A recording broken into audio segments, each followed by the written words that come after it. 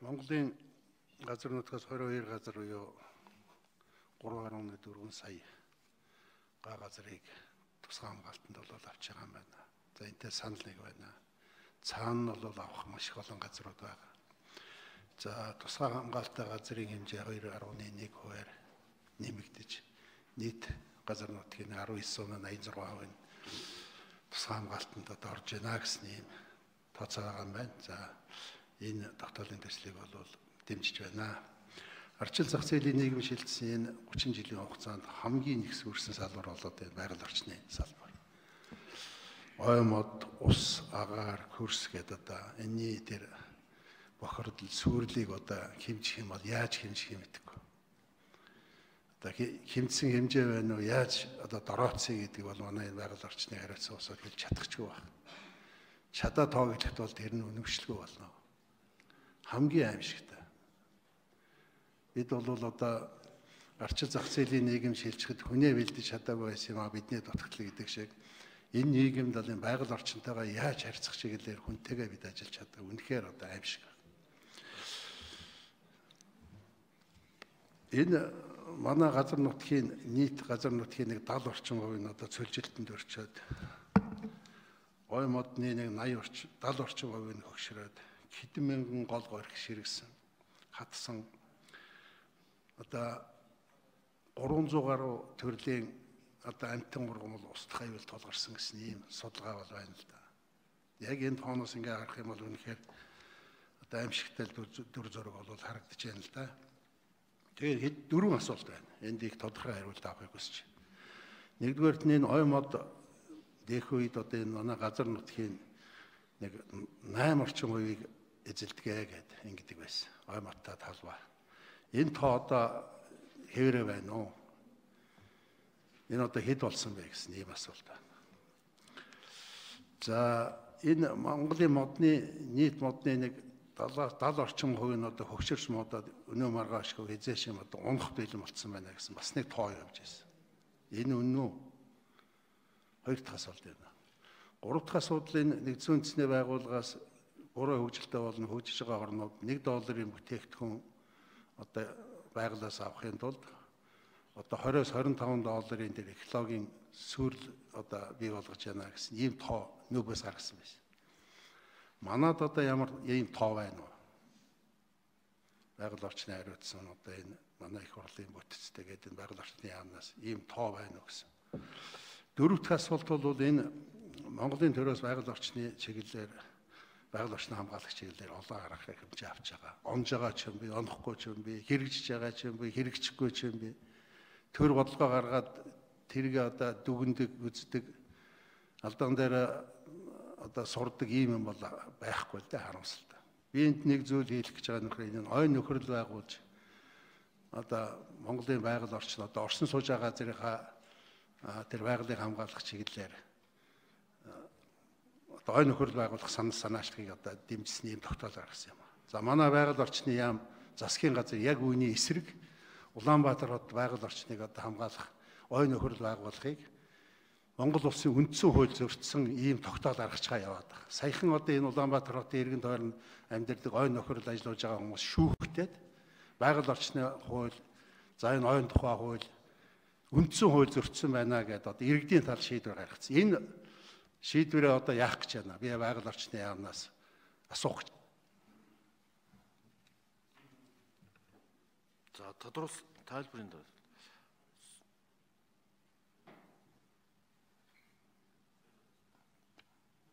ажлын хэсэг сансар баяр 86 дугаар 88 дугаар микрофон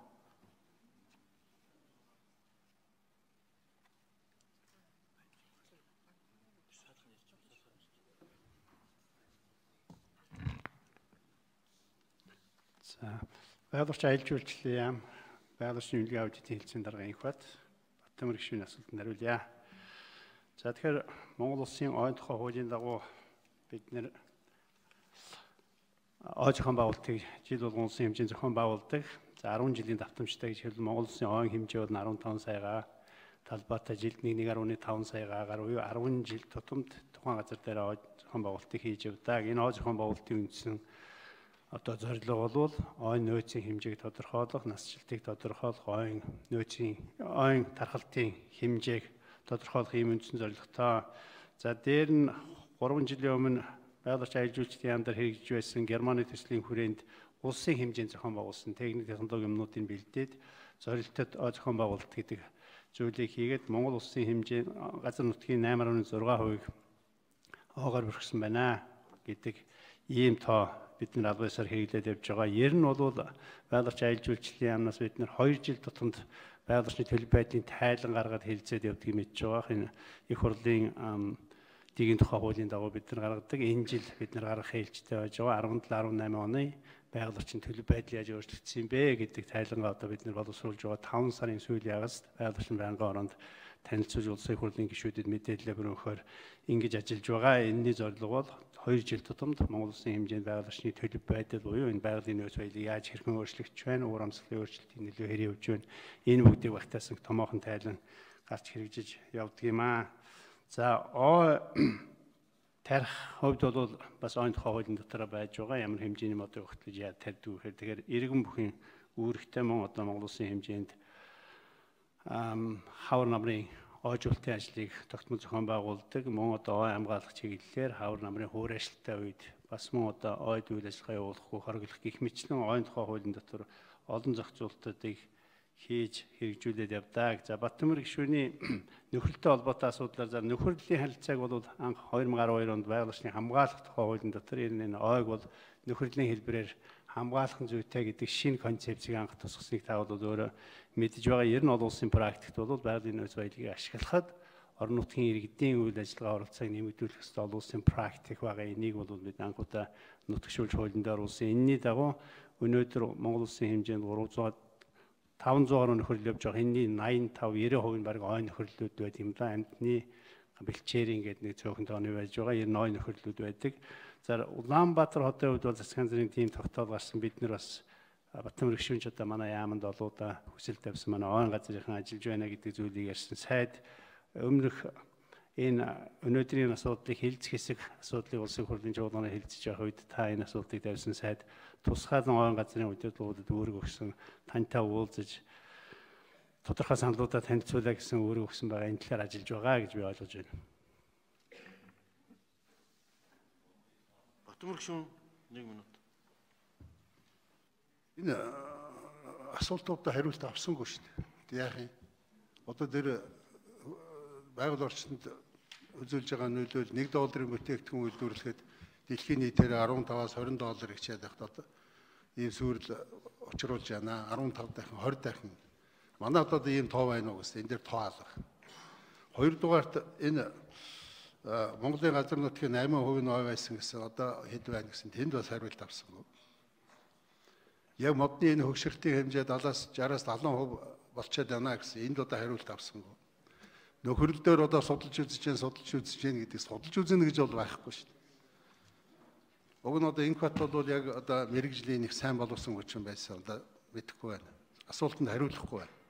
Бусдын хувьд бол одоо мэдэхгүй байна. Одоо мэрэгжлийн бос улсууд учраас энд хариулж чадахгүй л байгаа юм л да. Манай өнөөдрийн энэ яамдуудын дүр төрх яг ийм байдалтай байна. Хариултаа авъя. Улсын хурлын дэгийн тухай хуулийн 8-ын 6-ад асуултанд хариулж байгаа албан тушаалтан үнэн зөв мэдээлэх бүрэн хариулах үүрэгтэй гэж байна.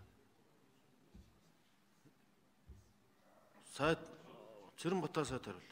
Яагаад энэ албан тушаалтнууд бүрэн хариулахгүй? За нэгдүгээрт Батмөр гишүүний хэлсэнтээс нэг санал нэг байгаа юм. Олон бодлого байгаа. Олон алдаа гаргасан. Олон ажил хийх ёстой ажлаа хийхгүй байгаа маань сүүлийн жилүүдэд өмнөх засгийн гар өмнөх их хурлын бүрэн эрхийн хугацаанд байгаль орчны мэрэгжлийн байгууллагуудыг татан уулгасан бүтцийн өөрчлөлт нэрээр зардал хэмнэх нэрээр олон өөрчлөлт хийсэн байгаа. Энэ удаа Монгол Улсын засгийн газраас бид усны агентлагуудыг одоо буцаад сэргээж байгуулахаар ажиллаж байгаа маа.